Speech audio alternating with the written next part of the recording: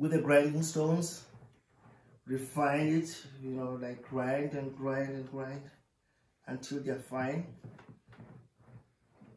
Some people they will sift to get the, the finer particles and that's the feeling I'm having here. It's it's really like that kind of a, of a clay. If you can look what happens inside is that pattern that it's done by your fingers. I always tell my students that if you can be able to follow the pattern that your hands make, you, you, you easily can be guided. And then this is what also happens outside. So that's your diagonal, right? Right.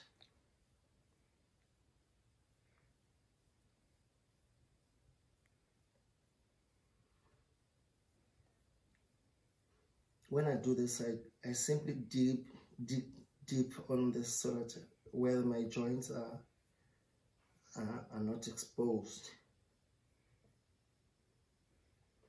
Because I'm gonna have pressure. So you do the same thing over and over again. And your hand is always there. Sometimes it goes like that because your hand is kind of trying to to communicate to the other hand that now we are moving forward or backwards, but this is how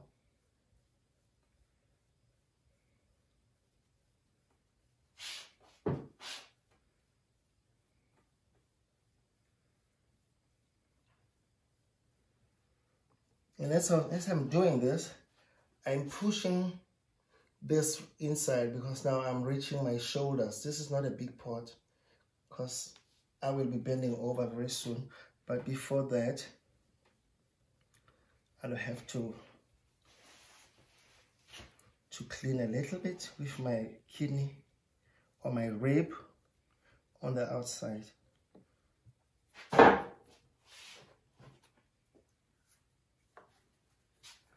And then here we go. You start pulling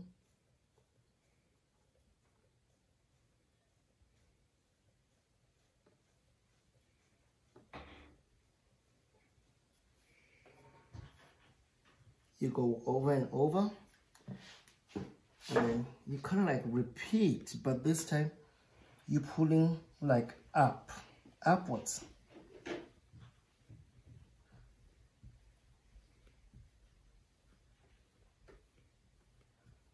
It has to be diagonal because you will never be able to make a sphere if you you go diagonal and you make sure that the outside is properly I'm calling I'm calling this leaking it's properly leaked after the pulling off your finger markings. And then let's give it a little bit clean over the edge just. And then if you notice my hands it's kind of like doing the same pattern in the same directions over and over again you'll always have those lines that goes in a in a in the same direction. And then I go inside again. I'm kind of like pushing up but also my hand is controlling the push. I'm kind of like opening it more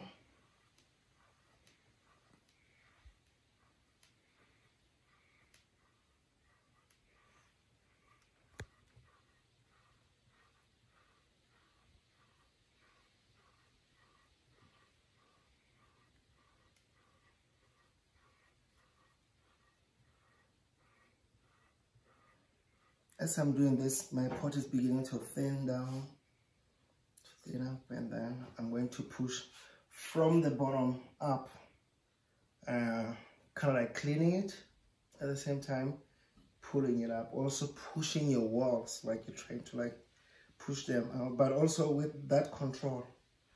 And then what I'm doing now, I'll be pushing from that upwards because I don't want my pot to be that and go you know, I want my pot to start, you know, round. So now I will change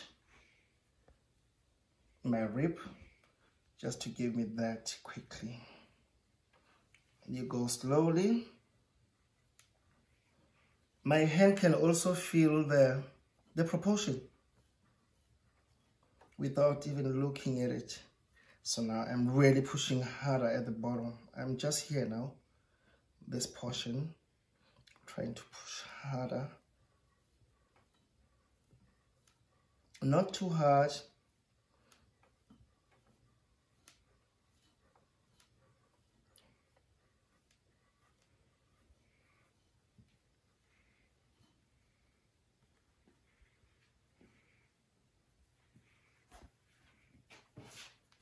now I'm repeating the same process over and over again. As I'm doing I'm pulling away from the from the bottom of my pot. I'm not pulling. I just ignore that. So I'm pulling away now like that's what I'm doing.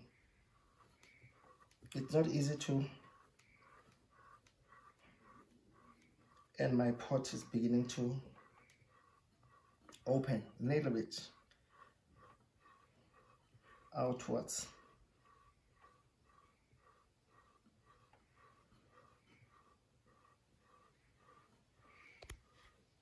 If you're not sure, you can stand back and look at the paper. If you think it's, it maybe it's, it's leaning towards, and then you simply just put it up or get it to the to the position. And then now I've reached the what you call the shoulders. I call this the shoulders. I'm trying to bring the shoulders in. I'm pulling in outwards and then pull inwards with my rib. I'm kind of like creating that uh, bend. You know, I'm doing that basically.